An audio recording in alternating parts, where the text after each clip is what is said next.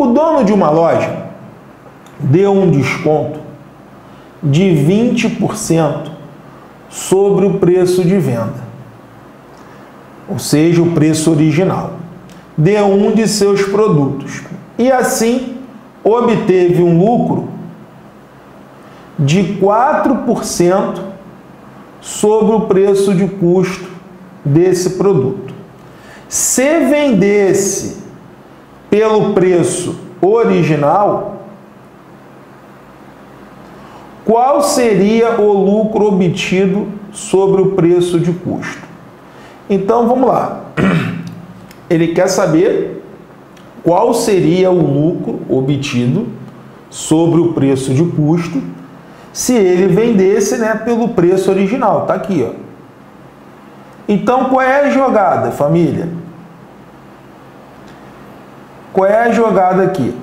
É a gente encontrar o preço original, o preço sem o desconto.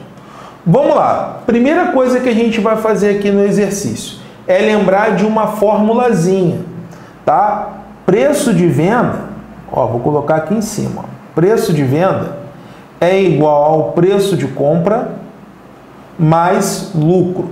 Tá? Preço de venda é igual ao preço de compra ou preço de custo, que é a mesma coisa, mais o lucro.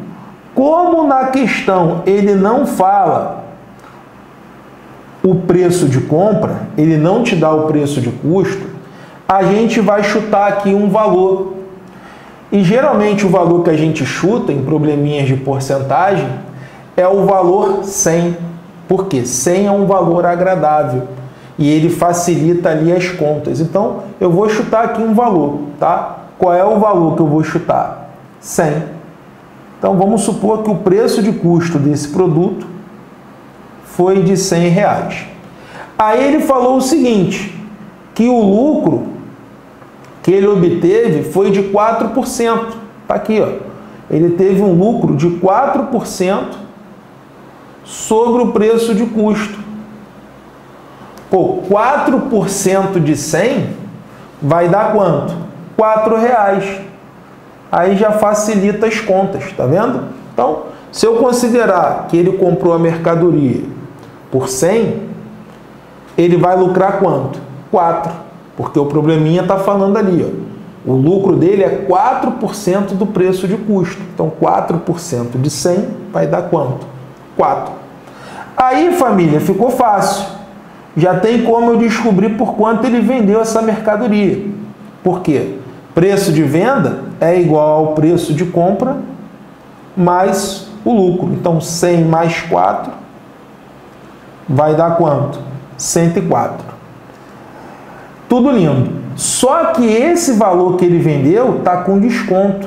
Não é o preço original. Porque esse valor aqui está com desconto.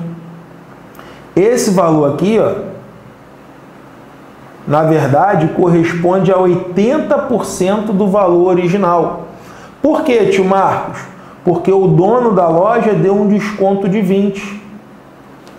Então, com um desconto de 20, esse preço caiu para quanto?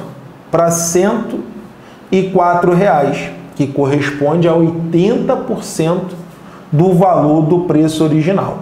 Agora, qual é a parada? Vou fazer ali uma regrinha de 3 para descobrir os 100%, ou seja, o valor cheio, o valor original da mercadoria. Então vamos lá, 104 reais vai estar para 80%, porque 104 é o valor com desconto, e X vai estar tá para quanto? E X, que é o preço original, sem o desconto, vai estar tá para quanto? Para 100%.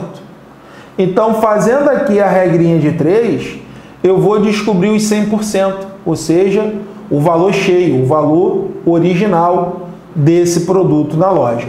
Então, cruzou, ou, ou, multiplicou. Como é que vai ficar aqui a continha? 80x é igual a 10,400. Né? 104 vezes 100 vai dar 10,400. Facão no zero, pou, pou. Vai ficar ali 8x igual a 1040. x vai ser igual a 1040 dividido por 8. x vai ser igual a 130. Então, o que, que significa esses 130? É o preço original, ou seja, é o valor sem desconto da mercadoria. Agora, qual é a jogada? Agora que eu tenho um valor sem desconto, agora que eu sei o preço original da mercadoria, tem como eu descobrir o lucro que foi obtido sobre o preço de custo, né? caso ele vendesse por esse valor. Agora vamos lá, olha como ficou muito fácil a questão.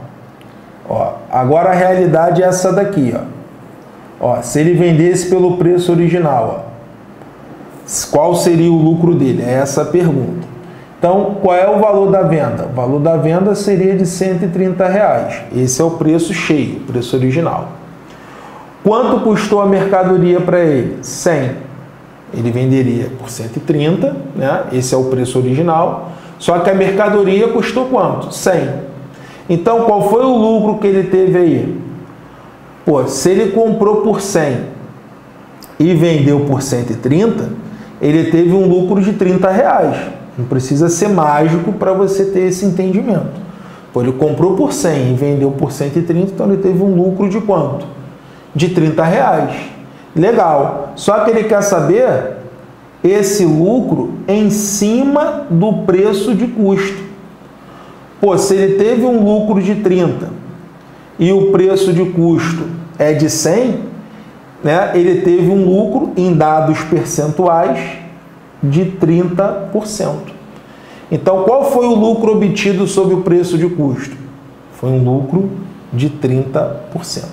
Então, se ele não desse o desconto, ele teria um lucro maior. Ele teria um lucro de quanto? De 30%. Legal? Qual é o gabarito? Letra B.